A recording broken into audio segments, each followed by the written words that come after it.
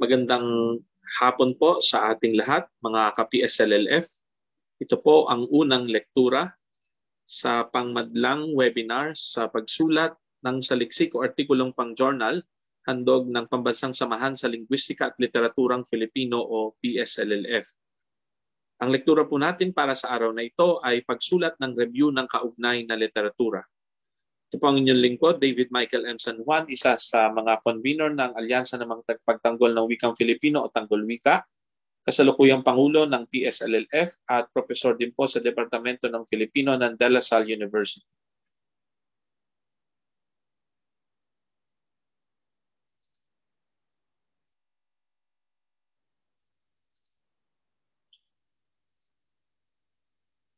Paalala po, Pakishare po natin ito, uh, itong presentasyon na to gamit ang hashtag PSLLF2021 para mas marami pong makapanood ng ating lektura sa araw na ito.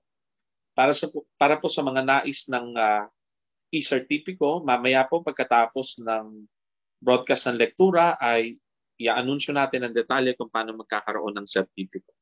So antabayanan lamang po ninyo ang anunsyo pagkatapos mismo ng lektura. Ang mga layunin po ng lektura ay una, mailahad kung paano epektibong maisasagawa ang review ng kaugnay ng literatura bilang pundasyon at paglalatag ng rasyonal ng isinusulat na artikulong pang-journal. Karaniwan po kasing uh, nagiging uh, problema ng mga nagsisimula pa lamang magsulat ng journal articles ay paano ba ilalatag yung rasyonal? Ano, a, a, paano masasabi na may saysay yung kanilang ginagawang pananaliksik? At maisa sa katuparan mo yung pagtitiyak na makabuluhan yung iyong saliksik, may bago kang maiaambag kung nasuri mo na yung mga kaugnay na literatura at nakita mo na may kakulangan, may mga kahinaan yung kaugnay na literatura or yung uh, current literature, kaya nais mong magsulat ng bagong saliksik. So ito yung dahilan kung bakit uh, ito yung napili kong paksa. No? Dahil nakikita natin yung kahirapan no? doon sa mga nagsisimula pa lamang magsulat ng artikulong pang-journal na mag-isip paano ba i-justify, paano ba sasabihin na yung kanilang uh, pananaliksik ay maiaambag, may maiaambag na bago. At syempre, makakatulong din ang lekturang ito sa mga naghahanap pa lamang ng paksang sasaliksikin o yung mga nagbabasa-basa ng mga saliksik at may nakikita ng potensyal na paksa pero hindi pa sila sigurado sa kanilang paksa. Sa pamamagitan ng pagre-review ng kaugnay ng literatura ay inaasahang mas makikita nila yung paksang pinaka kinakailangang saliksikin dahil yun nga, sa pamamagitan ng review ng kaugnay ng literatura ay makikita mo sa anong um, mga saliksik pa kulang ang naisulat, anong mga dimensyon o aspekto ng pananaliksik ng mga paksa ang hindi pa masyadong napagtuunang pansin na maaari mong pagtuunang pansin sa iyong artikulo. Ibigay muna natin ngayon ang ating uh, definisyon ng artikulo sa journal o scholarly artikulo. No? O akademikong artikulo o akademikong journal. So lahat ng yan ay tinuturing natin na synonyms at magkakatulad ang kahulugan. No? At sa presentasyong ito, sa lekturang ito ay maaaring uh, magamit no, na nagkakapalitan yung termino. Pero pareho lang na ibig sabihin sa atin yan. Ano? Ang ibig sabihin ng artikulo sa journal o scholarly artikulo ay saliksik na naglalaman ng makabuluhang datos at nakabatay rin sa mga akademiko o scholarly sanggunian o references. Masinsin, malaman, at malalim ang pagtalakay sa natipong datos at sa implikasyon ng mga ito. At dumaan siyempre sa proseso ng peer review. So ang ibig sabihin ng peer review, yung proseso ng pagbasa ng kapwa nating eksperto. So yung kung ang pananaliksik mo ay tungkol sa uh, ilang aspekto ng sociolinguistics ngayon sa Pilipinas, dapat yung magbabasa ay eksperto rin sa sociolinguistics, so may background sa sociolinguistics. Kung ang iyong pananaliksik ay mas nakatuon sa pagbubuo at validasyon ng material panturo instructional materials, dapat yung magre-review ng iyong artikulo ay eksperto rin sa paggawa at pag-evaluate o pagre-review ng mga uh, instructional materials. No? At ganoon naman talaga ang proseso ng mga journals na katiwa-tiwala, hindi ipagkakatiwala ng uh, journal managing editors yung inyong artikulo sa isang hindi eksperto. At kung sakali namang maibigay ito sa isang hindi eksperto, siguradong yung yung taong pinagbigyan ng yung artikulo ay magbe-beg off at sasabihin na hindi saklaw ng kanyang kakayahan ang pagre-review ng nasabing artikulo. Kaya tinatawag itong peer review kasi uh, yung proseso ay nakabatay sa pagbasa ng kapwa natin eksperto. No? At hindi ho lahat ng journals ay peer-reviewed. Ano? May mga journals na hindi dumadaan sa peer review. Pero yun nga, gusto natin na ang mga journals na ating isusumite ay dumaan sa proseso ng peer review para mas mahasa, mas ma, mas mapabuti yung nilalamang datos, mas mapasinsin yung pagtalakay. Ano? So yun yung definition natin ng artikulo sa journal o scholarly artikulo. Masinsin, malaman at malalim ang pagtalakay sa natipong datos at dumaan sa proseso ng peer review. Kaya isa pang tawag natin sa scholarly artikulo, kung sa English yan, ay peer-reviewed articles no or mga artikulong sumailalim sa peer review o kaya ay referee, refereed na artikulo. No? Ang mga karaniwang sanggunian ng mga scholarly artikulo ay ang mga sumusunod. Dahil mahalagang maunawaan natin na paano ba masasabing ang scholarly ang pagkakasulat ng isang artikulo. Dapat ang kanyang mga sanggunian ay scholarly rin. At ang sample ng mga scholarly na artikulo o mga sanggunian na scholarly ay iba pang mga scholarly artikulo o artikulo sa journal. Siyempre, nandyan din yung mga thesis at dissertasyon na dumaan din sa proseso ng pagre-review, idinepensa sa mga panelists, no? At siyempre, dumaan rin yan sa proseso ng pagre-review mismo ng advisor. No? Kaya ang thesis at dissertasyon ay parang dumaan na rin sa proseso ng peer review. Ang kaibahan lang sa halip na blind review, dito ay uh, harap-harapan yung pagbibigay ng mga komento no, sa thesis at dissertasyon sa pagdedepensa ng panel. Siyempre, mga scholarly o akademikong aklat. No? Ibig sabihin yung mga aklat na ang mga references ay scholarly rin. Mga papel pang komperensya, lalo na yung mga nalathala bilang bahagi ng conference proceedings o special issue ng isang journal. Kasi kung tutuusin ang mga conference papers, uh, dumadaan din sa proseso ng peer review. Bagamat hindi lahat ng komperensya ay may uh, masinsin na peer review kasi minsan yung abstract lang ang nire-review. Kaya ang pinakamaganda kung conference paper yung na-publish na as conference proceedings na mala journal article din ang pinagdaanan. No? Ito yung pagkatapos ng komperensya ay binibigyan ng uh, tsansa ang mga uh, lumahok sa komperensya na isaayos, i-edit, rebisahin ang kanilang papel at isumite ito sa um, manager or sa managing editor ng conference proceedings para matingnan kung ito ay papasa na bilang conference proceedings. Kung naisagawa yung mga dapat na pagbabago batay sa mga komento noong ito ay presenta sa kumperensya at kung scholarly na yung pagkakasulat kung lahat ng kailangan sanggunian ay naisulat no kaya dumaan din siya sa proseso ng peer review kahit papaano Siyempre, nandyan din yung mga blog na dekalidad o yung mga blog na may mga sanggunian at o sinulat na mga eksperto rin sa mga larangan. No? Siyempre, hindi tayo basa-basa kukuha ng blog. No? Yung, yung blog na dapat ay katiwa-tiwala yung mga sangguniang na ginagamit ng blog at pangalawa, ito ay sinulat ng mga eksperto sa larangan. Siyempre, yung mga medyang alternatibo ay maaari ring gawing sanggunian para sa mga scholarly artikulo, pa, lalo na kung ang tinatalakay mo ay may kaugnayan sa mga kasalukuyang pangyari o current events. Ang mga ulat ng ahensya ng gobyerno, yung mga official reports, no? mga ulat ng mga non-government organizations, ng mga international organizations, ng mga international o transnational organizations, at multilateral institutions kagaya ng uh, um, World Bank, Asian Development Bank at iba pa. No? Lahat ng mga yan naglalabas ng mga regular na ulat hinggil sa iba't ibang paksa, maaring gamitin ding sanggunian ng mga ito dahil karaniwang scholarly rin ang pagkakasulat ng mga ito para sa mga spesifikong paksa. At kaya na sipatin lang natin ng mabilis ang ilang database ng mga scholarly journal. Uh, kasi may mga journal na may tuturing nating hindi scholarly kasi uh, basta na lang tumatanggap ng mga artikulo o kaya ay nagpapabayad para tumanggap ng mga artikulo. X yun.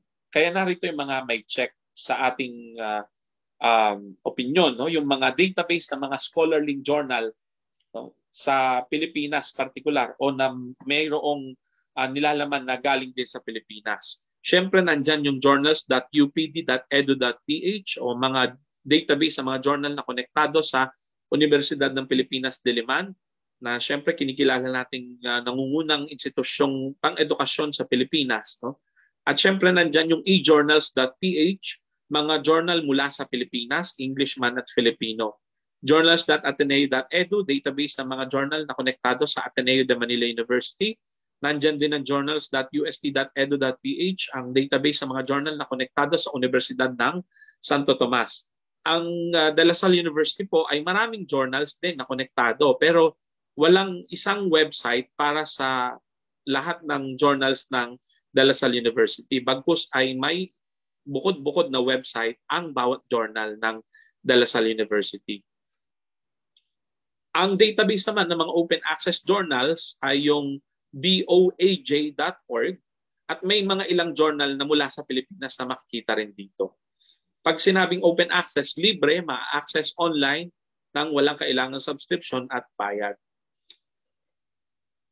Narito naman ang ilang mga journal na naglalathala ng halos sandaang porsyento sa Filipino.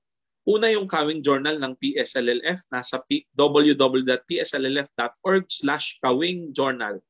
At uh, sinabi nating halos sandaang porsyento sa Filipino kasi ang Kawing Journal nitong nakaraang issue ay uh, nagdesisyon na rin ang board ng ng Kawing Journal na PSLLF na tumanggap rin ng isa man lamang na uh, artikulong nakasulat sa English kada issue. No? Pero hindi naman laging mayroong uh, English article. No? Actually, wala pa nga nagsusumite yata ng English article sa Kawing Journal. Pero batay sa guidelines sa pagsumite ay pwede nang mag-submit ng isang artikulong English kada uh, issue ang maaaring uh, makalusot na English article sa Kawing Journal. No? Samantala doon sa iba pa, 100% na puro Filipino articles lang ang tinatanggap. Kagaya sa Malay Journal ng De La Salle University, nandiyan ang website. Yung Daluyan Journal ng UP Sentro ng Wikang Filipino, Hasaan Journal ng Universidad ng Santo Tomas, Katipunan Journal ng Ateneo de Manila, Filipino Liha Journal ng PUP at yung DYE Journal ng Pambansang Samahan sa Psikolohiyang Pilipino o PSSP. Meron ding mga bilingual na journal sa Pilipinas. Yung mga naglalathala, mapa English o mapa Filipino tinatanggap nila. Kagaya ng Plaridel Journal ng Universidad ng Pilipinas, mas ito ay sa media, komunikasyon at iba pang kaugnay na larangan. Critical Journal ng UST, ang focus naman nito ay filosofiya. Social Science Diliman, so makikita niyo dyan yung website, ito ay mula sa UP Diliman din. Ang, ang uh, saklaw nito syempre ay mga pananaliksik kaugnay ng agham panlipunan, iba't ibang agham panlipunan at tumatanggap nga rin sila ng nasa Filipinong artikulo. Nandyan din yung Humanities Diliman, no? na mga pag-aaral sa humanidades, panitikan at iba pang mga kaugnay na larangan. Nandyan yung Diliman Review, multi-interdisciplinary journal din mula sa UP Diliman. At bilingual din, tumatanggap rin ng Filipino at English articles kapwa ang The Normal Lights Journal ng Philippine Normal University mas nakapokus ito sa pagbubuo ng instructional materials, pagre-review ng instructional practices, pagre-review ng uh, educational policies, etc. So, mga isyong may kaugnayan sa edukasyon, lalo na edukasyong pangguro.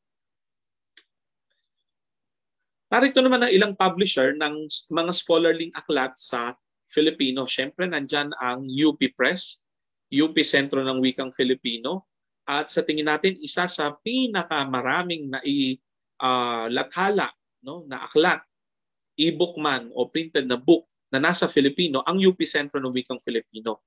Kasi nga, ang mandato ng UP Sentro ng Wikang Filipino ay paglalathala sa wikang Filipino. No? At makikita nyo sa uh, website na yan yung mga libreng e-books nila at yung instruction din kung paano makakabili doon sa mga printed books no na um, wala pang ebook version. No? At syempre nandyan din ang DLSU Publishing House. May mga ilan-ilan na rin uh, nailathala sa wikang Filipino. Ateneo de Manila University Press, UST Publishing House, ang KWF. Pagamat uh, ngayon yung website ng KWF, yung Aklatang Bayan ay isang aklat na lang yung available online. Mukhang sinasaayos pa lamang nila at mo hopefully maibalik yung iba pang mga electronic book ano na dating nandoon no pero tuloy pa rin sila sa pag-iimprenta no, ng mga libro. Siyempre nandyan ang Anvil at CNE Bookshop no, na bagamat maitutuloy nating komersyal na mga publishing houses, pag sabing commercial publishing houses, uh, ito ay mas nakafocus sa paglalathala ng mga libro na talagang ibinebenta na hindi lang pang-academe. Pero ang maganda dito sa Anvil and CNE, may mga nailathala rin silang akademiko, scholarly aklat sa Filipino. No? Nandyan din yung Ateneo de, de Naga University Press. No? Uh, maituturing natin isa sa mga nangungunang uh, regional press no, sa buong Pilipinas na tumatanggap hindi lang ng mga gawang nakasulat sa Ingles, pati gawang nakasulat sa Filipino at lalo na yung mga may kaugnayan sa Bicol Studies. No? So iwasan nating gamitin ang mga sanggunian mula sa mga sumusunod hanggat maaari. Yung mga commercial na textbook, yung mga textbook na pang elementary high school na ibinibenta ng mga malalaking publishing house na tinatawag nating commercial publishing houses. Maliban kung pag tiningnan natin yung bibliography o listahan ng references ay masinsin ang pagtitipon ng references. At kapag nakita natin yung loob ay maayos ang pagkakasulat din at uh, maayos ang pag-cite, ano? Pagsipi sa iba't ibang mga uh, akademiko sanggunian, maaari itong paminsan-minsan gamiting sanggunian din sa mga scholarly aklat. Bagamat sa mga scholarly artikulo, bagamat hindi hinihikayat. Siyempre, ang Wikipedia ay hindi rin natin ginagamit na sanggunian hanggat maaari, maliban na lamang kung ang iyong artikulo ay tungkol sa pagsusuri sa mga artikulong nasa Wikipedia. No? O kaya ay may may gusto kang bigyang diing punto. Halimbawa ay gusto mong sabihin na ang popular na definisyon ng ganitong salita ay ito. So pwede mong gamitin. I-cite mo yung nasa Wikipedia na ginagawa rin ano, ng mga sikat na author no? na, na pag may gusto silang puntong bigyan diin tungkol sa isang popular na definition, Wikipedia ang kinukote sa na site nila. So may mga specific instances sa pwedeng gawin mo yon. Depende sa layunin ng iyong pananaliksik. Yung mga blog na hindi dekalidad, huwag itong gamiting sanggunian maliban kung ito ang paksa ng iyong uh, pananaliksik at ito yung sinusuri mo doon, doon sa iyong artikulo. Siyempre yung social media, iniiwasan din natin gamiting sanggunian maliban na lang kung ang source ng material ay mga profesional na organisasyon, non-government organizations, etc. na may pahayag o statement tungkol sa isang issue, napapanahong issue at katiwa-tiwala ang kanilang sinasabi at may malinaw na paninindigan sa paksa o kaya naman ay ang paksa mo mismo yung social media posts. No? So maobliga kang isite yung mga social media posts kung ganon. Ano nga bang mga benepisyo ng paglalathala ng sa journal? No? 10 credit units po ng Continuing Professional Development o CPD units ang ibinibigay ng PRC para sa local peer-reviewed or refereed professional journals. Ang kawing po na journal ng PSLLF ay isang peer-reviewed or refereed professional journal. Kaya maaari po itong magamit sa pagkakamit ng 10 credit units ng CPD. Kailangan nyo lang isumite sa PRC yung kopya ng artikulo at table of contents ng journal batay sa uh, alituntuning inilabas ng PRC no, tungkol sa CPD units na makukuha sa pamagitan ng mga local peer-reviewed or refereed journal articles. Siyempre, kasama rin sa benepisyo ng paglalathala ng sa journal yung kontribusyon nating mga guro sa intelektualisasyon ng Filipino. No? Sa panahon na medyo nahuhuli ang Pilipinas sa paglalathala ng saliksik sa sariling wika, lalo na kung ikukumpara sa mga karatig bansa gaya ng Indonesia at Malaysia na nagkataong ang kanilang mga wika ay kamag-anak ng mga wika sa Pilipinas. Yung narating nila, maari nating marating. Mataas na level na sila ng intelektualisasyon. Nagagamit na ang bahasa Indonesia, bahasa Melayu, sa agham panlipunan, sa exact sciences, sa matematika, sa halos lahat ng larangan. Gusto nating abutin din ang ganong level na intelektualisasyon ng Filipino. At mangyayari lang yan kung patuloy ang mga guro sa paglikha, paglalathala ng mga napapanahong artikulo, research articles, journal articles. No? Batay sa database ng Directory of Open Access Journals o DOAJ as of 2019, kulela tayo kumpara sa Bahasa Indonesia at Bahasa Melayu, meron lamang 322 Tagalog articles no, na nasa Directory of Open Access Journals o DOAJ. Samantala may 124,000 mahigit na nasa Bahasa Indonesia na articles. 820 plus na artikulo sa Bahasa Melayu. No? Kaya nauhuli tayo. Kailangan nating humabol, kailangan mag-produce, lumikha ng mas maraming pananaliksik. Siyempre, pagtupad sa professional nating tungkulin bilang guro, ang pananaliksik, no? alinsunod sa Article 4 ng Code of Ethics of Professional Teachers. Paano nga ba magtuturo ng pananaliksik din ang guro kung hindi naman nananaliksik o naglalathala ng saliksik ang guro? Marami sa atin, no? lalo na yung mga nagtuturo mula uh, high school pataas, high school, senior high school at college, lalo na yung mga nasa graduate school, syempre nagtuturo tayo ng paano mag-research. Paano natin epektibong maituturo ang paano mag-research kung hindi tayo nagre-research? So hindi pwedeng puro teorya. Kailangan may practice rin. Kailangan ginagawa rin natin yung ating itinuturo. Kaya kung nagtuturo tayo ng pananaliksik, kailangan nananaliksik din tayo. Siyempre, lagpas pa sa lahat ng yan, mahalagang kontribusyon nating mga guro sa paglutas ng mga suliraning lokal, nasyonal, regional at maging global na suliraning ang pananaliksik kontribusyon nating mga guro sa paglikha ng at o pagsusuri sa umiiral na karunungan o kaalaman ang pananaliksik. Kasi nagbabago ang panahon, nagbabago din yung uh, mga realidad. Yung mga dating pinaniniwalaan, maaring dapat nang baguhin. Para mabago yon kailangan ng mga bagong pananaliksik. Maari na namang tingnan yung mga dating pinaniniwalaan, baka dapat pa rin patuloy na paniwalaan, kailangan pa rin ng bagong pananaliksik para patunayan kung totoo pa rin o hindi yung mga dating kaalaman. Narito na ang mga karaniwang bahagi o nilalaman ng scholarly artikulo. Pahapyaw lang yung talakay natin sa mga bahagi o nilalaman ng isang scholarly artikulo dahil ang focus nga natin ngayon ay yung review ng kaugnay na literatura. Bagamat yun nga, hindi natin maiwasang talakayin din ito para makita natin saan papasok dito yung review ng kaugnay na literatura. So may apat na pangkalahatang bahagi ang isang scholarly artikulo. Nandiyan ang introduksyon o panimula, ang metodo o pamamaraan o metodolohiya, pangatlo ang resulta at diskusyon o pagtalakay at ang huli ang konklusyon at rekomendasyon. Sa mga journal na nasa Filipino, lalo na yung nasa Pilipinas ka, hindi karaniwang nile-label ang mga bahagi. Hindi mo kailangan sabihin na ito yung panimula, etc. etc. Pero pwede rin naman. Depende doon sa polisiya o patakaran ng journal. Sa halip, subheading o bang pamagat ng bawat seksyon o bahagi o tipak ng mga talata ang nagsisilbing division ng mga bahagi. So may pang may, may main title and then may subheadings. So yung paghahati mo sa mga bahagi, subheadings o mga mga bagong pamagat. Ilang tala lang hinggil sa mga bahagi o nilalaman ng scholarly artikulo na tatalakayin natin ngayon.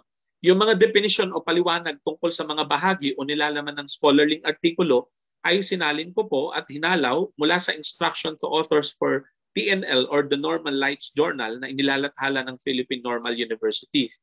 Dinagdagan o pinalawig ko rin yung mga salin o halaw batay sa pangangailangan ng lektoruang ito.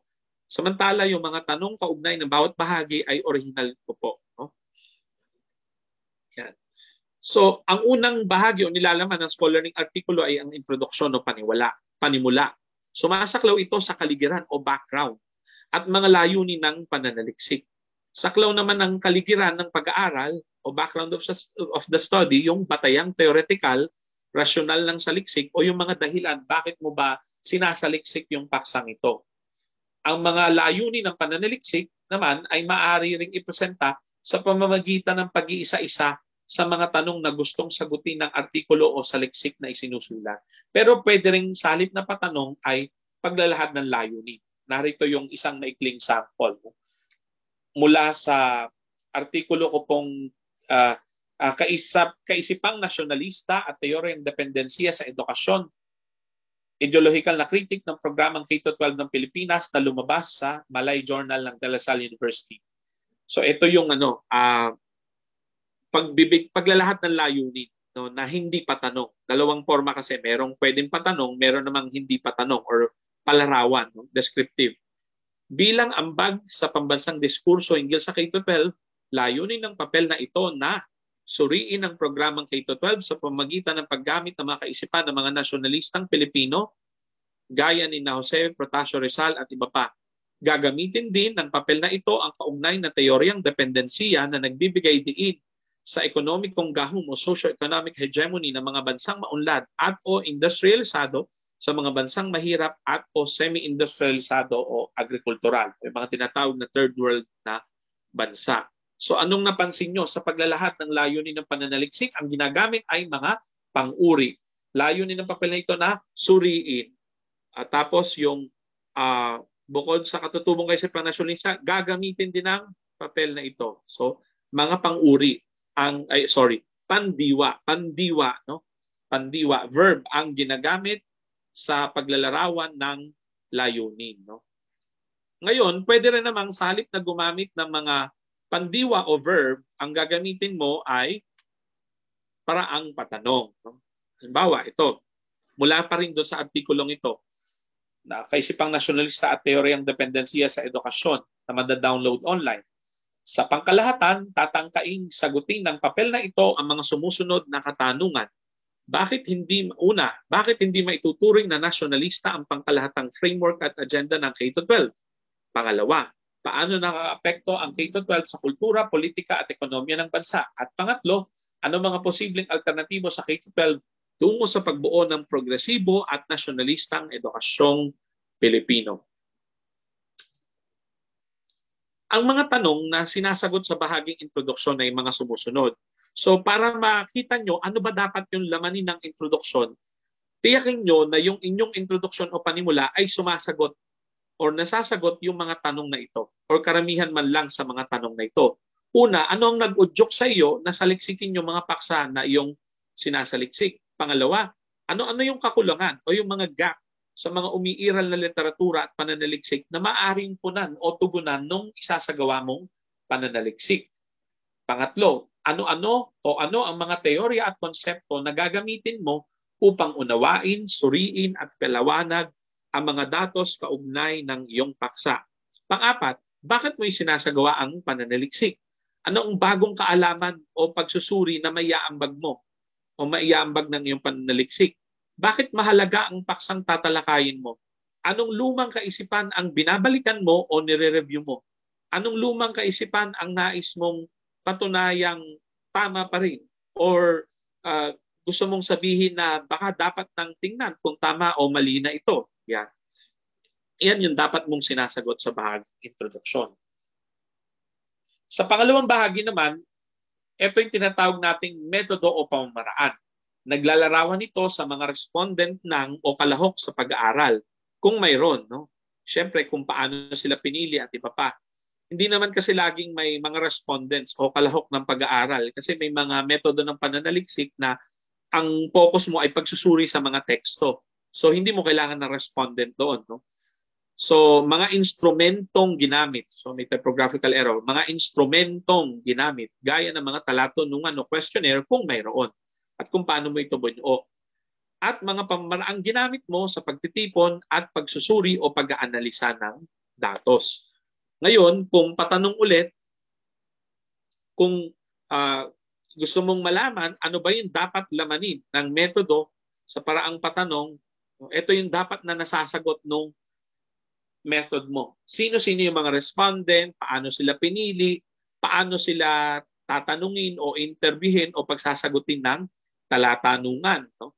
Key informant interview ba, FGD ba, sa pamagitan pa ng survey o questionnaire, yung bang survey o questionnaire ay online, in-administer o printed na questionnaire na pinasagutan. Kung may sampling method ka na ginamit, or technique, rather sampling technique, paraan ng pagpili ng mga respondent, pwede mong idetalye yon. Paano mo binuo yung questionnaire?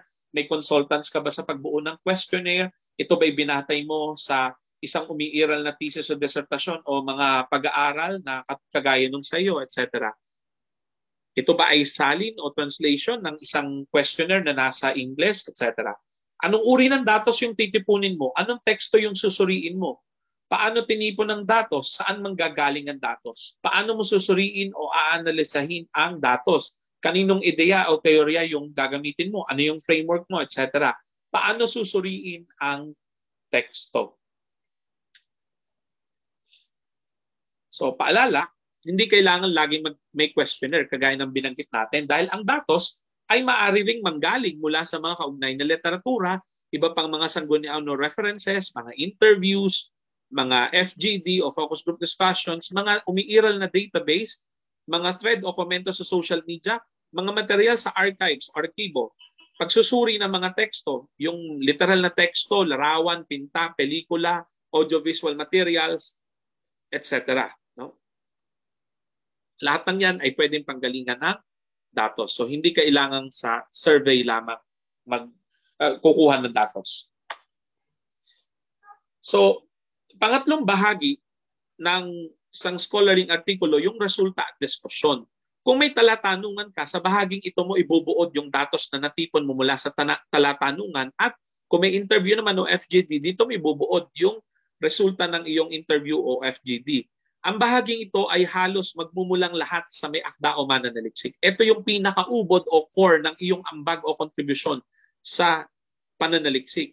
Kasi dito mo pinapaliwanag ano yung mga sagot sa tanong na inilahad mo doon sa iyong introduction or kung hindi man tanong ang inila, inalahad mo, yung mga layunin ng pananaliksik. So dito mo na isa sa katuparan yung mga layunin ng pananaliksik mo.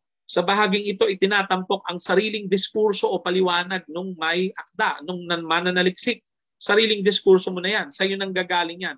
Hinggil sa paksang tinatalakay. Ang mga kaugnay na literatura ay pwede mo pa rin gamitin pang backup, no? pansuporta doon sa mga sinasabi mo na sa bahaging ito. Pero sila ay pansuporta lamang. Mas ikaw na yung nagsasalita rito. Sa konklusyon at rekomendasyon naman, sa konklusyon, ibinubuod ang mga sagot sa mga tanong na iyong inilahad o doon sa layunin ng iyong pananaliksik. So para mabilis, karaniwan isang pangungusap lang ang kailangang katapat ng bawat tanong na inilahad mo sa simula ng pananaliksik. Sinasagot mo lang ng mabilis yung iyong mga tanong na inilahad. At maaari ring talakayin sa bahaging ito ang mga implikasyon ng pananaliksik. Kung batay ba sa pananaliksik mo ay may may epekto ito, may may posibleng epekto ito sa ipinatutupad na programa ng gobyerno. May kailangan bang baguhing polisiya dahil sa sa natuklasan mo sa iyong pananaliksik. So pwede mong talakayin diyan. Lalo na sa rekomendasyon naman, binibigyang diin ng mga bagay na inirerekomenda mong gawin ng mga susunod na mananaliksik kasi ito yung mga bagay na hindi mo na naisagawa o kaya mga bagay na talagang hindi mo isinagawa. No? So yung mga limitasyon ng iyong study o pag-aaral na sa tingin mo ay mahalagang pag-aralan kaya ipinabato mo na, ipinapasa mo na sa mga susunod na mananaliksi kasi hindi mo na isagawa. Kaya nire-recommenda mo sa kanila na gawin ito. At ganun din, maaring dito ay ilagay mo rin yung mga suggestion mo sa gobyerno, mga ahensyang pang-edukasyon, mga paaralan sa Pilipinas, mga estudyanteng magbabasa ng yung saliksik, mga gurong gagamit ng yung saliksik, etc. Na matulungan sila na ano ba yung actual na magiging pakinabang nila sa iyong research. So magre-recommend ka doon. Ano yung pwedeng gawin nila related sa iyong research. Ngayon, dumako na tayo sa talagang focus sa ating diskusyon. Ngayon, araw na ito, yung review ng kaugnayan ng literatura sa artikulo sa journal nililinaw natin na ito ay pang journal article na review of related literature. Kasi kung ikaw ay nagtitisis o disertasyon, syempre mas komprehensibong review ng related literature ang kailangan mo doon. Pero ano ano pa man, magkaugnay naman yung yung pagre-review ng kaugnay ng literatura sa disertasyon at sa journal article. Pero syempre may mga specific na gagawin ka sa pagre-review ng journal articles na maaaring sa thesis and dissertation ay hindi ginagawa o hindi masyadong pinagtutuunang pansin. I-define muna natin, ano ba ang review ng kaugnay ng literatura? Ito ay review ng mga aklat, nalathalang scholarly artikulo gaya ng mga academic journals at iba pang mga sanggunian na kaugnay ng o makabuluhan sa paksang sinasaliksik o sa teoryang gagamitin o magagamit sa pag-unawa nito bilang batayan ng pagsipat sa naaabot na ng mga naunang pananaliksik no? at sa pagtukoy sa mga gap o mga bagay na di natalakay o di masyadong natalakay sa mga literatura o mga umiiral na saliksik na maaari pang punan ng bagong pananaliksik. Iyon yung dahilan kung ba't tayo nagre-review ng mga kaugnay na literatura para makita ano bang kahinaan, ano ang kalakasan, anong mga gap, anong kulang At kung may kulang pa, iyon ang sasaliksikin. Iyon ang isa sa katuparan ng mga bagong pananaliksik. Ang karaniwang posisyon ng review ng kaugnay na literatura ay nasa panimula o introduksyon. Dahil sa bahaging ito, nilalatag yung rasyonal ng pag-aaral. At karaniwan naman na yung rasyonal ng pag-aaral ay naibibigay o natutukoy mo sa pamamagitan ng pagbibigay diin mo sa mga kakulangan ng umiiral na sanggunian o artikulo. Yung layunin na naispunan ng isasagawang saliksik o bagong journal na isusulat. At magagawa lang yan kung nireview mo na yung mga kaugnay na literatura, kung nasipat mo na yung mga umiiral na sanggunian. Ano pa ang ibang gamit ng review ng kaugnay na literatura? O, bukod doon sa nabanggit na sa panimula, sa pagre-review ng mga kaugnay na literatura, karaniwang saklaw din yung mga teoryang magagamit mo sa pag-unawa ng iyong paksang sinasaliksik. Kaya karaniwan, sa pagtalakay ng batayang theoretical ng papel, may mga kaugnay na literatura ka rin na nire-review at binabalikan ito. Ang review ng kaugnay na literatura ay makatutulong sa mananaliksik na patatagin ang batayang theoretical ng kanyang artikulo batay sa mga umiiral na sangguniang theoretical. Kaya laging may pahapyaw na kaugnay, review ng kaugnay ng literatura sa bahaging metodolohiya at o batayang theoretical ng papel. Kagaya ng papakita kong ilang halimbawa mamaya. Sa bahaging diskusyon o pagtalakay, karaniwan din na may paisa-isa kang muling binabalikan na kaugnay na literatura para magsilbing pantulong, pansuporta sa pagtalakay ng mga pangunahin mong punto pinapalakas mo yung, yung mga sariling argumento gamit yung mga umiiral na sanggunian. Ilang gawain bago isulat ang review ng kaugnay na literatura para sa scholarly artikulo. Hanggat maaari, umisip ka na ng tentatibong pamagat. Kasi batay sa pamagat ng iyong saliksik, ay mahahati-hati mo na. Paano mo ba hahati-hatiin yung, yung mga review ng kaugnay na literatura? Halimbawa, yung aking saliksik na binigay na halimbawa kanina, kaisipang nasyonalista at teoryang dependensiya sa edukasyon, ideolohikal na kritik ng programang K-12 ng Pilipinas. Yan yung pamagat. So mahahati-hati mo na agad ang review ng kaugnay na literatura. Meron na akong review ng kaugnay na literatura sa mga reforma sa sistemang pang-edukasyon. Kasi yung K-12 ay sistemang pang-edukasyon. Meron akong tungkol sa teoryang dependensiya kasi maliwanag na iyon yung framework sa pamagat pa lang nasyon, meron rin kaugnay na literatura tungkol sa nasyonalismo kasi maliwanag din na bahagi ito ng framework ng saliksik patay sa pamagat pa lang. So napapadali kung meron kang pamagat na na tinukoy, mahati-hati mo na agad saan ka kukuha ng mga review ng kaugnay na literatura. Kung ang pananaliksik naman ay pinamagatang bigwas sa neoliberalismo, alternatibo sa kapitalismo, advocacy pangwika at sosyalistang programa sa nobelang Mga Ibong Mandaragit ni Amado V. Hernandez, ito naman yung paghahati-hati ng mga review ng kaugnay ng literatura batay sa pamagat. No? Siyempre may tungkol sa globalisasyon kasi saklaw na niyan yung mga economic policies gaya ng yung, yung mga economic uh, ideologies gaya ng neoliberalismo at kapitalismo. Pangalawa, yung advocacy pangwika dahil binanggit rin yon sa pamagat. Siyempre, nandyan din yung sosyalismo, isang isang ekonomikong ideolohiya rin na alternatibo sa kapitalismo. At pang-apat, syempre, dahil binabanggit si Amado V. Hernandez na siyang may akda ng nobela Mga Ibong Mandaragit, kailangan may review rin na kaugnay na literatura sa mga buhay at mga sinulat ni sa buhay at mga sinulat ni Kaamado V. Hernandez. Ngayon, kung wala ka pang maisip na pamagat, mag-isip ka na ng mga paksa na sasaklawin ng review ng kaugnay na literatura mo. At maaaring sa pagbabasa-basa mo ng literatura, doon ka naman malilinawan sa ano yung magiging pinal na pamagat ng iyong saliksing. Pero yun nga, kung akong tatanungin, hanggat wala kang pamagat, napakahirap mag-review of related literature. Pero yun nga, hindi ka rin naman makakaisip ng pamagat nang wala ka man lang nabasang mga kaugnay na literatura. Kaya chicken and egg problem yan. Pareho mong gagawin ng sabay. Nagre-review ka ng kaugnay ng literatura, pinapakinis mo yung title. May, may temporary title, may tentative title ka na pamagat, nagre-review ka ng kaugnay ng literatura para lalong mapaganda at mapaayos mo pa yung title, mapasinsin mo pa yung mga uh, variables na nandun sa iyong pamagat.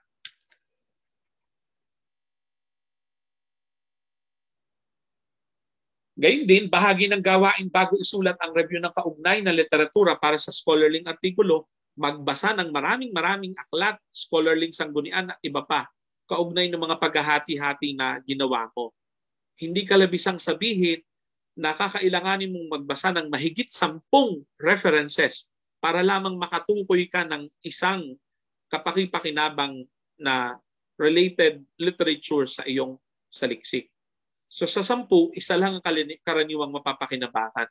At maaring doon sa pinal na review of related literature mo, baka nga yung isa na yon ay maalis mo pa dahil makita mo na may mas maganda ka pa palang mababasa. So punto natin dito, marami ka talagang kailangang basahin. Basa ng basa ng material na kaugnay sa sinasaliksik mo dahil doon ka rin matutulungan no? nabuuin yung review ng kaugnay na literatura mo at muli ay baguhin yung pamagat at magiging direksyon ng iyong saliksik para mas maging practical pa yung direction ng iyong saliksik. Kasi doon mo nga makikita yung kahinaan eh, ng mga umiiral na pananaliksik, saan sila nagkulang, ano yung hindi nila masyadong natalakay, doon ka papasok. Yun ang tatalakayin mo. Sa bawat isang sangguniang mapili, sa dinami-dami ng nabasa, maaring sipatin din yung mga sangguni ano bibliografiya nito para sa mga karagdagang re-reviewin pang materyales. Kung yung isang materyales ito napakaganda, at sa tingin mo related na related sa research mo, sigurado yung references niyan at mga nasa bibliografiya niyan ay magagamit mo rin sa iyong review of related literature. Kaya kailangan mong balikan rin yung bibliografiya. Kaya nga ako, karaniwan, pagkabasa ko po ng abstract, ang pangalawang tinitingnan ko ay yung references bago yung mismong laman. Abstract, references, then sa ako babasahin yung kabuuan ng laman. Kung kailangan, pwede rin namang skim at scan, depende sa iyong layunin ng pananaliksik. Ilang gabay sa pagsulat ng borador ng review ng kaugnay na literatura. Mag-focus sa convergences at divergences ng mga kaugnay na literatura. Pag sinabing convergences, ibig sabihin mga punto na nagkakatulad, nagkakahawig, nagtutugma ang sinasabi ng mga literatura. So common points, no? Divergences, mga puntong nagkakaiba, hindi nagtutugma, nagkokontrahan pa nga ang mga literatura. No? Ibig sabihin, nagda-diverge sila sa isa't isa. Nag-iiba uh, ng landas. No? Kaya magkakaiba sila ng sinasabi. So doon, y- yun yung mga interesanteng parte na dapat bahagi lagi ng kaugnay ni literatura. Convergences at divergences sa mga literatura. Mag-focus din sa mga literatura na kaiba sa iba pa ang sinasabi o yung mga literatura na unique yung sinasabi. Mag-focus din sa mga lumang konklusyon na sa tingin mo ay maaari ng muling suriin kung totoo pa rin. Mag-focus din sa mga lumang saliksik na ang bahagi o kabuuan ay nais mong ulitin o muling isabalikat o i-replicate sa kasalukuyang panahon. May mga 10 years ago na lathala na research, gandang-ganda ka pa rin kasi sa tingin mo ay uh, valid pa rin yung mga sinasabi niya. Pero maaring may ilan ng pagbabago sa panahon. May mga nangyari na na maaring uh, sabihin nating uh, pwede nang mag-update do sa lumang saliksik na yon. So pwede mo na i-replicate. 10 years na yung research. Pwede mong i-replicate o ulitin. Kasi bagong respondents naman, bagong panahon. No? Pero parehong variables. No? Pwede yon, no? replication. Pero kailangan mong tukuyin yon sa kaugnay, review ng kaugnay ng literatura mo na bakit mo nais i-replicate kasi umabot na ng 10 years. At may may posibilidad na may bahagyang pagbabago na no mula noon hanggang ngayon, baka may nabago ng mga pananaw, may nabago ng mga opinion. Yung yung sinasabi ng mga respondent noon, maaring ngayon ay iba na. So para makita, gagawin mo yung pananaliksik mo. Tukuyin kung paano nakakatulad ng mga umiiral na saliksik ang iyong isusulat. At tukuyin din kung paano naman ito naiiba. Anong bagong maiaalok ng iyong artikulo, kumbaga. Siyempre, tukuyin ang mga gap o kakulangan sa mga umiiral na literatura na plano mong punan sa isusulat mong artikulo o saliksik. So narito na yung actual na mga sipi mula sa review ng kaugnay ni literatura sa ilang kong mga artikulo. Ito po ay galing sa Daluyan Journal. Nandiyan yung pamagat na journal. No? Ito po nandun sa bahaging uh, ipinapakita ko na na bakit uh, gusto kong pag-aralan pa yung mga sinulat ni Kaamado V. Hernandez. Ang papel na ito ay ambag sa pangkalahatang pagsisikap na itaguyod ang sosyalismo bilang alternatibo sa kapitalismo sa pamagitan ng kontekstualisasyon ng sosyalistang programa sa nobelang Mga Ibong Mandaragit ni Amado V. Hernandez. Ito ang kauna-unahang pagtatangka na bigyang diin at bigyang focus ang sosyalistang programa sa nasabing nobela sa pamamagitan ng pagbasa rito bilang tekstong ekonomiko. So ayan, inilahad ko kung paano na iba yung aking saliksik sa mga nauna pang saliksik. Pero may pagkakahawig din ito sa mga nauna pa. Kahawig nito ang pag-aaral ni Tablan hinggil sa kaisipang sosyalismo sa mga akda ni Hernandez. Gayunman, hindi saklaw ng pag-aaral ni Tablan ang nobelang mga ibong mandaragit, kaya mainam na sipatin ang sosyalistang programa nito, etc. etc. So yun, okay. pinakita mo yung pagkakahawig, pero may pagkakaiba rin para ma-justify mo na kailangan pa rin magsaliksik sa paksang to. Dahil wala pang uh, sumipat doon sa anggulo na gusto mong tignan. Ito naman ay CP mula sa artikulong Kaisipang Nasyonalista, etc. etc. mula sa Malay Journal. Ito yung review ng K-12. Pahapyaw na binalikan ng papel na ito ang mga kaisipang nasyonalista ng mga kinikilalang bayaning Pilipino. Partikular dito, binalikan ko mga ideya ni Jose Rizal, Jose Jose, uh, ni Jose Rizal, Andres Bonifacio, and then Emilio Asinto. Walang saysay ang opisyal na pagkilala sa mga bayaning ito kung ang kanilang mga kaisipan ay isasantabi lamang upang ipagpilitan ng isang makadayuang sistemang pang-edukasyon na hindi nagsasaalang-alang sa ganap na kaunlaran ng mga mamamayan ng bansa. Lagpas pa kay Dr. Jose Rizal, so gusto kong sabihin dito na syempre yung panahon nila iba naman eh. So may mga ba- mas bago pa na pwedeng gamitin. Lagpas pa kay Dr. Serizal at iba pang nasyonalista sa huling bahagi ng 1800s, sa hanay ng mga kontemporaryong Pilipinong nasyonalista, pinakapopular ang mga kanda ni Profesor Renato Constantino, etc. etc. Tapos, bahagi na aking review of related dito yung Miseducation of the Filipinos ni Constantino at ikinonekta ko sa kasalukuyang panahon. At may pagbubuod din, no? kagaya nito, sa makatwid, sa pananaw ni Constantino at ng iba pang nasyonalista, Walang saysay ang anumang programang pang-edukasyon kung hindi nito ay sinasaalang-alang ang kaunlaran ng mamamayan ng bansa. Sa mas tahas na pananalita, walang saysay ang edukasyong hindi nasyonalista kahit pa ito'y sumunod sa pamantayang global, etc. etc. Yan. So narito naman ang ilang CP mula sa artikulo ko na Euphoria, Pakikibaka at Bahala na, kontekstualisasyon ng piling awiting post-EDSA na nasa Plaridel Journal. Medyo napapanahon to kasi uh, anibersaryo na naman ng EDSA 1. No? Sa panimula pa lang ay may pahapyaw na na review of related lit ako. No? Isang pagdaigdigang ekspresyon ng pakikibaka ng mga mamamayan ang paglikha ng mga awiting ng kasaysayan ng mga kilusang panlipunan at ng mga matatagumpay na aklasang bayan o mga people power revolts or uprising.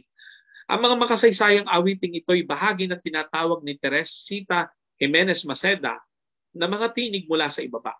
Mga tinig na ordinaryong mamamayang lumahok sa mga kilusang panlipunan at iba't ibang forma ng aklasang bayan na nagbibigay ng alternatibong pananaw hinggil sa ilang bahagi ng kontemporaryong piniping kasaysayan. Sa gitna ng kawalan ng puwang para rito sa mga opisyal na buwagan, bulwagan ng kapangyarihan.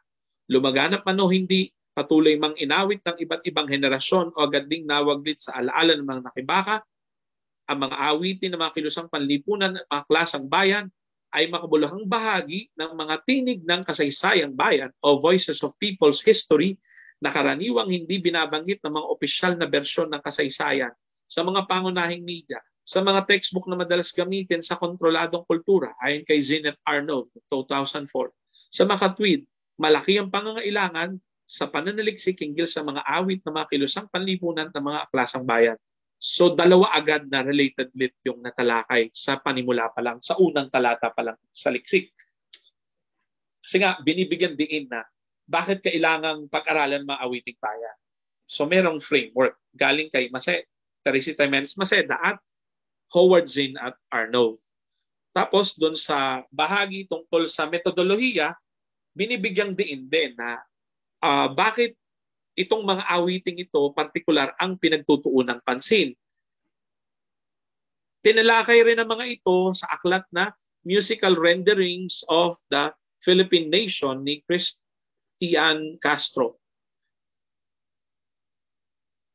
Pero wala sa mga nabanggit na pag-aaral ang gumamit ng lenteng Marxista sa pagsipat ng mga nabanggit na awitin. So, ayun. No? So, yung pag-aaral na ito, kagaya rin nung mga naunang pag-aaral, kagaya ng kay Castro. Pero, yung kay Castro ay hindi Marxista ang framework. Samantalang sa kasalukuyang pag-aaral, Marxistang framework yung gamit. No? So, pinag-iiba. May pagkakatulad, pero may pagkakaiba. Kaya pwedeng gawin pa rin yung kasalukuyang pananaliksik.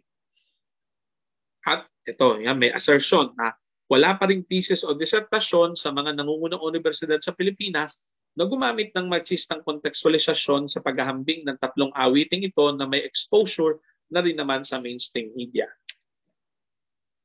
Ito naman ay piling sipi mula sa kaugnay ng kaugnay na literatura sa artikulong Pambansang Salbabida at Kadena ng Dependensiya, Kritikal na Pagsusuri sa Labor Export Policy ng Pilipinas Artikulo ko po na nalathala sa Malay Journal. Ito ay nasa panimula. No? Uh, nililinaw na bakit yung teoryang dependensiya ang ginamit na framework.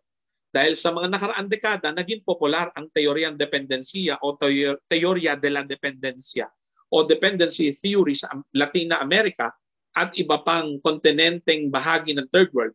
Ngunit sa Pilipinas ay hindi pa ito gaanong ginagamit. Katunayan, batay sa pagkonsulta ng mananaliksik sa online archives ng mga nangunang universidad sa Pilipinas, wala pang thesis o disertasyon ng Pilipinas na naglapat ng teoryang dependensiya sa pagsusuri ng uh, patakarang ekonomiko ng bansa bukod sa disertasyon ng mananaliksik sa Central Escolar University Manila. Sa makatwid, ang pananaliksik na ito ay ambag din sa intelektualisasyon ng Filipino sa larangan ng economics, partikular kaugnay ng kontekstualisasyon ng teoryang dependensiya sa Pilipinas. Yan. Tapos, pangalawang talata o ilang mga talata doon sa panimula pa rin, ito mga review of related literature na, contextualisasyon na ng mga isinaling literatura mula sa ibang wika. No? Ayon kay Dos Santos, ang dependensiya ay sitwasyon na ang ekonomiya ng ilang bansa ay ikinokondisyon ng pag-unlad at paglawak ng ekonomiya ng iba pang bansa na naka, nakapangibabaw sa una na maaaring uriin sa dependensiyang kolonyal at independensiyang pinansyal-industrial. So may direct quote pero meron ding sariling diskurso ang may akda. Kagaya nito, sa madaling sabi, sa pananaw ng mga naniniwala sa teoryang dependensiya, pinagsasamantalahan ng mga bansang industrialisado ang mga bansang may hirap sa pamagitan ng neokolonyalismo sa ekonomiya at politika. Sinasamantala ng una ang likas na kahinaan ng huli sa pamagitan ng pagpapanatili sa pre-industrial o kaya semi-industrial na sitwasyon ng maraming bansang third world na karaniway mga dating kolonya ng mga bansang first world. Narito naman ang ilang sipi ng kaugnay na literatura sa artikulong Politika ng Pagsulat, Pagsulat ng Politika kritikal na pagsusuri sa pagtalakay ng batas militar at diktatura sa mga piling textbook sa araling panlipunan sa Pilipinas. Nalathala ko po ito sa Kawing Journal. Pinangahawakan ng mananaliksik ang kaisipang Marxista sa kasaysayan ayon kina Marx at Engels, bla bla bla. So may direct quote. Pero meron ding sariling diskurso ang may akda. Pagbubuod, pagsusuma ng mga punto ng mga naunang pananaliksik kung pagsasama-samahin at ibubuod ang mga kaisipang sinipig kina Marx at Engels, malinaw na ang kasaysayan ay mga mahalagang pangyaring sumasalamin sa magkakasalungat na interes ng mga pangkat o uring panlipunan o social classes sa bawat partikular na panahon. Karaniwang higit na nangingibabaw ang bersyon na naghaharing uri ng mga makapangyarihan sa lipunan sapagkat sila rin na may kakayahang magsulat o umupa sa mga nagsusulat ng kasaysayan dahil hawak rin ng karamihan sa mga kasangkapan sa produksyon at ang mismong malaking bahagi na yaman daigdig. Kaugnay ng teorisasyong Marxista sa kasaysayan, kapakipakinabang din na sanggunian na akda ni Perry para sa mga interesado. Yan. So, review ng literatura na nagpapaliwanag ng theoretical framework mong saliksik. Tapos, yan. So may pagdudugtong pa no doon pa rin sa metodolohiya sa framework. No, ginamit din si Renato Constantino, si si Terry Eagleton at iba pa. At may sariling diskurso din yung may akda. So hindi puro direct quotes no. Sa ganitong konteksto, konteksto, inspirado rin na maakda ni na Lowen, Maseda at Zin ang saliksik na ito. So pwedeng ganun lang rin yung pagbanggit sa mga kaugnay na literatura. Maikli. Gabay sa pagrebisa ng borador ng review ng kaugnay na literatura, masasabi nating walang perpektong borador ng review ng kaugnay na literatura. Kailangan mong rebisahin at paikliin ito.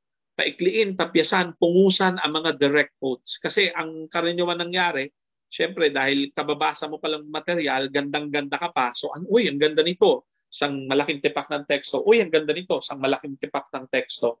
Pero later, marirealize mo, sobrang haba naman ng mga quote, eh, parang puro sila na lang nagsalita. Es, eh, research mo na to. Dapat ikaw na yung nagtatahi, ikaw na yung nagsasalita. Kaya kailangan paikliin mo at mas magsalita ka na. Ibubuod mo, ipaparaphrase, ipapaliwanag mo sa sarili mong salita ang mga nire-review mong kaugnay na literatura habang tinitiyak din na may akmang citation o pagbanggit sa mga may akda o mga akdang nire-review. Pero dito nga, tinatahi mo na. Ikaw na yung nagtatagni-tagni ng mga kaisipan. Isite at isama sa mga sanggunian o bibliografiya ang lahat ng binasa at aktwal na ginamit sa saliksik kasama na ang mga artikulo o thesis na unang nagpakilala sa iyo sa isang primary source na binasa mo rin pagkatapos. Ngayon, narito pa ang ilang mga mungkahing parirala na mainam gamitin sa review ng kaugnay na literatura. Kasi karaniwan, ang ginagamit natin ay uh, bukod bukod pa sa ayon kay ay ayon kina yan eh puro paulit-ulit na lang yan di ba so anong gagawin natin uh, pwedeng inilahad ni nakasaad sa aklat yung pamagat na aklat, tapos maglagay ka ng direct quotes, then citation sa may akda. Gaya ng kasalukuyang pananaliksik, ang artikulo ni bla bla bla ay bla bla bla. Kaiba sa mayorya ng mga nirevyong saliksik, sinaklaw ni bla bla bla ang bla bla bla. Dahil mahigit sampung taon na mula ng pag-aralan ang bla bla bla, maaring nagbago na ang bla bla bla. Kaya kailangan ng panibagong pag-aaral. Binigyan din ni na bla bla bla. Itinala ni bla bla bla. So napakaraming paraan ng pagsasabi ng ayon kay. So halos ano na nga eh, halos sab- sabihin na nating krimen no? sa mga mananaliksik na gamitin pa ang pariralang ayon kay kasi pudpud na pudpud na. Pero yun nga, isang beses, dalawa, pwede mong gamitin yun. Pero ang dami pang paraan naman ng pagsasabi niya, kagaya ng mga ito. Meron pa hong tatlong slide ng ganyan. Ito pa. Yan. Ibinuod sa, inisaaysa ni na, sinuri ni, batay sa pagsusuri ni, batay sa evaluasyong isinagawa ni na, batay sa review na isinagawa ni, sa masaklaw na pag-aaral ni, sa case study hinggil sa, sa case study na inakda ni. Yan. O, pangatlong slide. Sa pagsipat ni, batay sa dakos na tinipon, limang taon ang nakararaan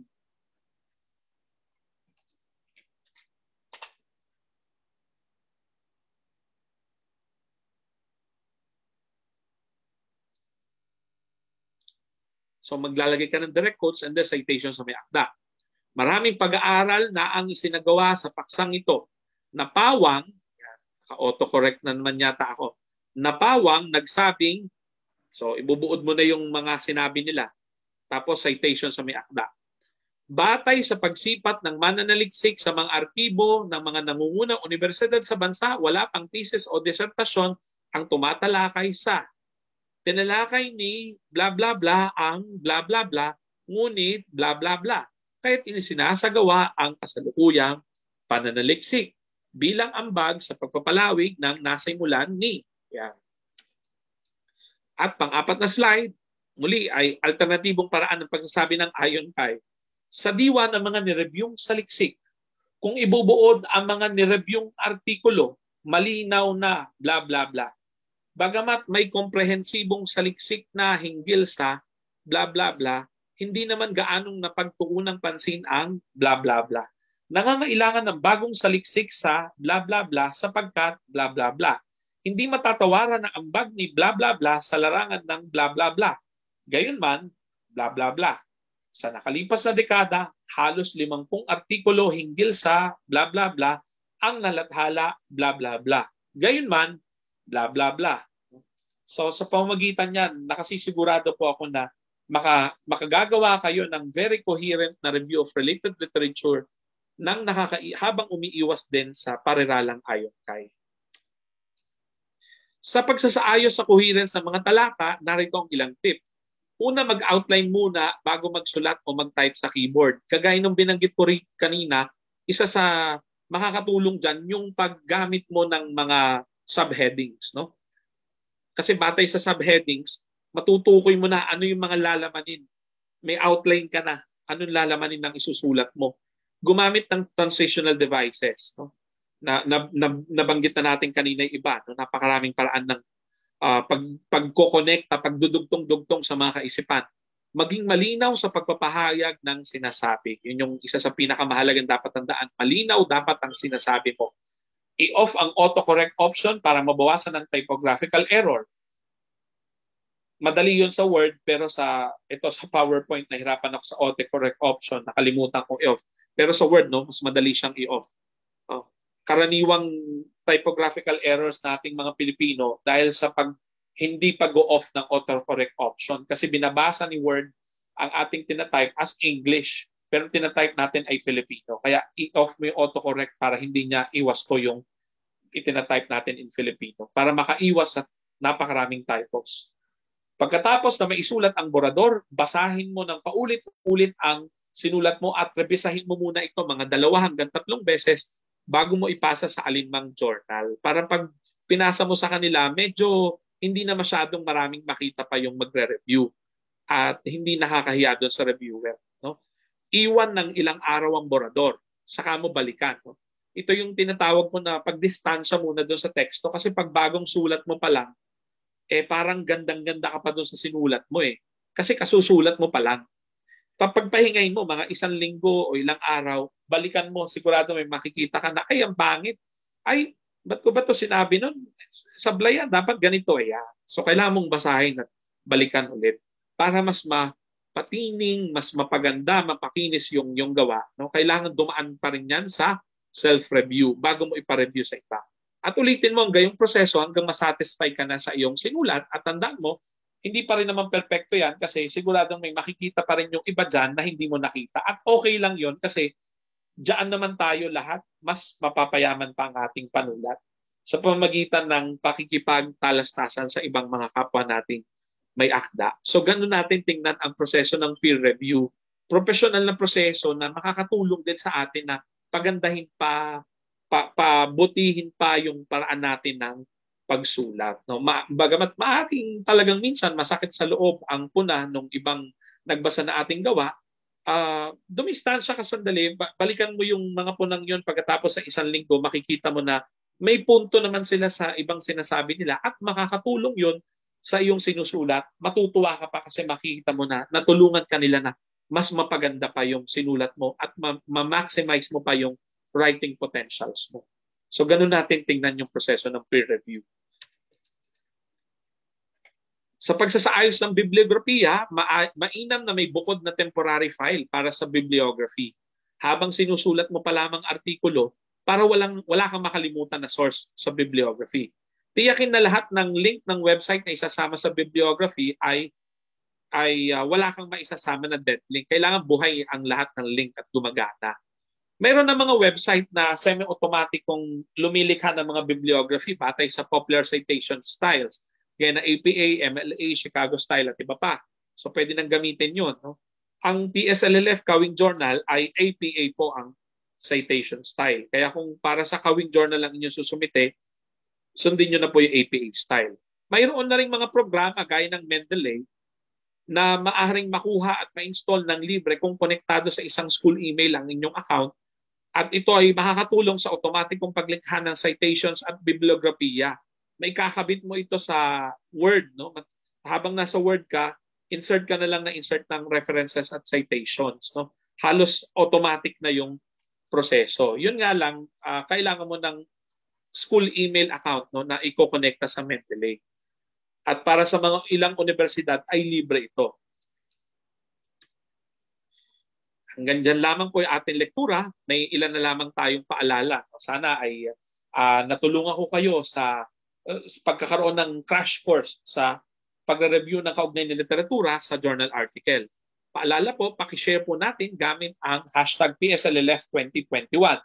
Pagkatapos sa pagkatapos mo ng lekturang ito ay ipopost na sa Facebook page ng uh, PSLLF ang paraan ng pag uh, fill out ng form para sa e-certificate kung inyo pong gusto ng e-certificate ang tabayanan lamang po.